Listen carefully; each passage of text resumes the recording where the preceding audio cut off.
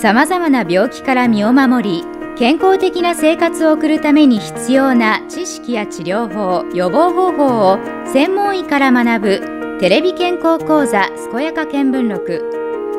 15回目は小児科の岡本健さんにノロウイルスについてお聞きしました。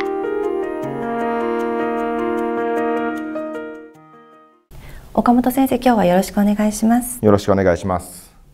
今日のテーマはノロウイルスということなんですがノロウイルスはどんな病気なんですか？はい。まずノロウイルスの位置から説明します。急性腸炎もしくはこちらの言葉ですと腸管房と言われている病気ですけども大きく分けるとウイルス性細菌性心筋その他に分類されると思います。その中でウイルス性に属するのがノロウイルスです。ウイルス性腸炎にはたくさんの種類のウイルスがあります。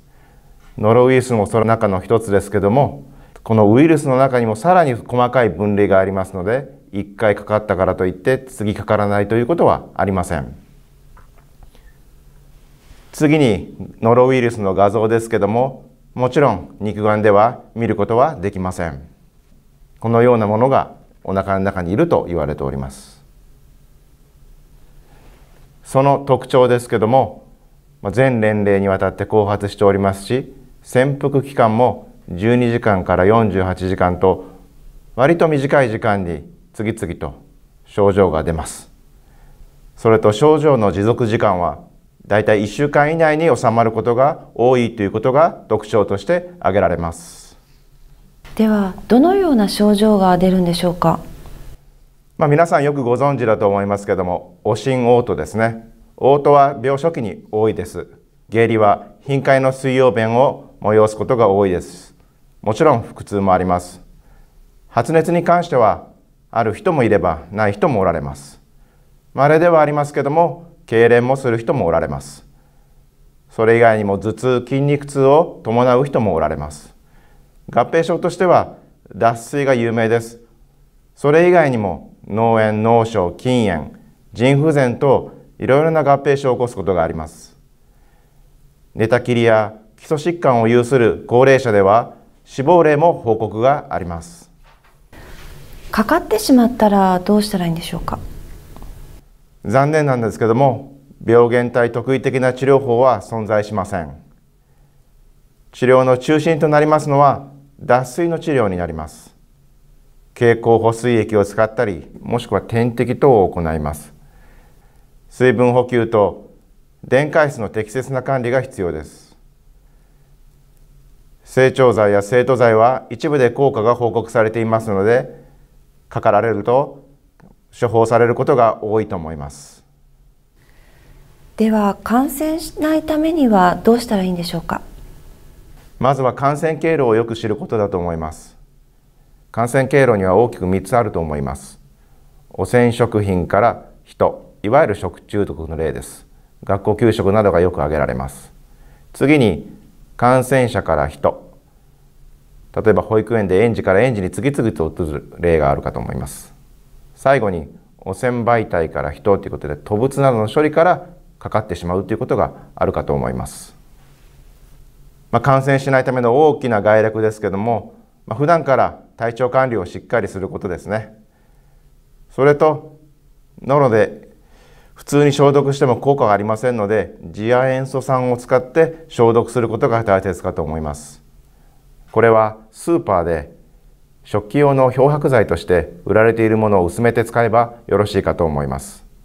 まあ、普段から気をつけなくてはいけないですけどもこまめな手洗いをすることも大事かと思います。もちろん不要な接触を控えることも大切かと思います。食品は85度から90度以上。90秒以上の加熱が必要かと思います。まあ、我々小児科ですので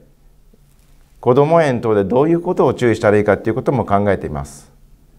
感染症情報として園内の情報の収集と報告、まあ、自前の給食施設を持っておられるところが多いのですので特に乳児エリアは特に注意してほしいです。感染源対策としては、まあ、症状が出ない方もおられますのでマニュアル等を整備してできるだけスムーズに処理できることが大切かと思いますまた他のクラスとの交流はできるだけ控えてもらうことが大切かと思います。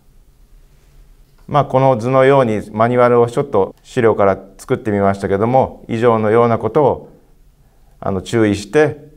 処理していただけると拡大にはつながらないのかなというふうには思っています。次に家庭ではどのようなことをしたらいいのかなというのをお伝えしたいと思います。子どもさんの場合保育園や幼稚園に行かれる方が多いとは思いますけども集団生活に入る前に予防接種をできるだけしていただきたいと思います感染する情報が入ってきたら当然情報を集めていただきたいと思います万が一かかった場合にはマニュアル通りで対処して嘔吐と下痢が収まり食欲が回復したら通園を再開するようにしてもらえればいいかと思います。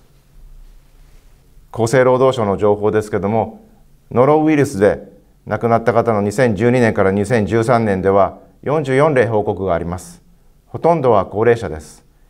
1例だけ他の病気を有していた小児例があります。心配しすぎることはないと思いますけども引き続き予防対策を実施して感染の拡大を防ぎましょう。次にノロウイルスロタウイルスどう違うんでしょうか？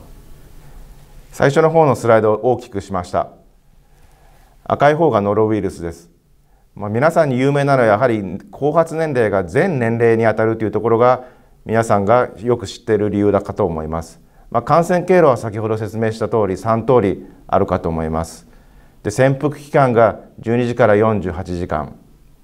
で急性発症の水曜便ということが特徴かなと思います。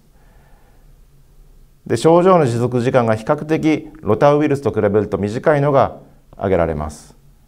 ただロタウイルスの場合には幼少時の方が多いのであまり大人の方には耳に入っていないのかもしれませんけども我々医療サイドとしてはロタウイルスの方が激しい印象を持っています。症状の持続時間も長い印象を持っています。ウイルスはどのくらいの期間排出されるんですか？年齢によって多少の差はありますけども小児では34週間以上成人では2から3週間以上の長期にわたって排泄されるということが報告されています。微小のウイルス量でも感染するので回復後の児のおむつの交換。成人では用便後の手洗いが不十分で調理した食材などが感染源となって二次感染として発症した報告がありますので非常に長期にわたって排泄されることが言われております。ノロウイルスのワクチンはあるんでしょうか？現在のところはありません。米国で研究が進んでおりますけどもウイルスが人間の腸の中でしか増殖しないためになかなか開発が進んでいません。一方ロタウイルスワクチンには2種類ありますのでそちらの方の有効性は高いとは思っていますでは普段からの体調管理とこまめな手洗いが重要なんですね。そうですね。先生今日はどうもありがとうございました。ありがとうございました